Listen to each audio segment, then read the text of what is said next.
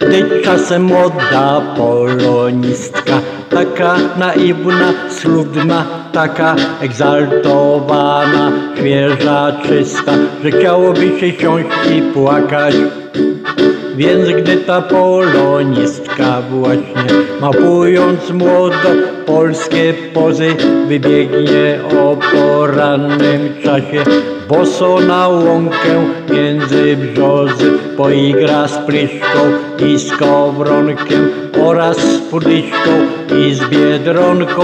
Przywita ze wschodzącym słonkiem wołając Witaj jasne słonko z róż i poboju. Splecie wieńce, pomacha rączką do motyla.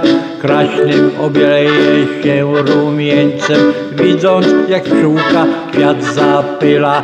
Coś za German, gdy zanuci Wyrecytuje coś za snyka A potem bardzo się zasmuci. Nad żabką, którą bocian łyka i chcąc zapłakać nad półtrupem, po drugie półtem bocian urwał w lizie. Tą bosą nogą w kupę i wyda okrzyk, ożeż kurwa, to jeśli byłbym na tej łące naocznym świadkiem tego zgrzytu, jak jestem facet niepijący, pół litra wychlałbym zachwytu. Pół litra wychlałbym zachwytu Pół litra wychlałbym zachwytu